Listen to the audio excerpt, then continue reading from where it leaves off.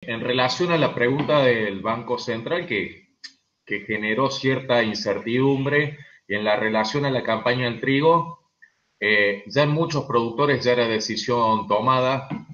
Quizás yo creo que puede llegar a afectar algo en el paquete tecnológico y en lo que es fertilización, pero ya en relación a, insumos, es más, estaba avanzando la, siembra de, trigo, por lo cual en muchos productores ya estaba tomada la decisión. Quizá eh, esta incertidumbre se traslada a lo que es el paquete tecnológico de, de la gruesa que viene. En esto estaba a mitad del río.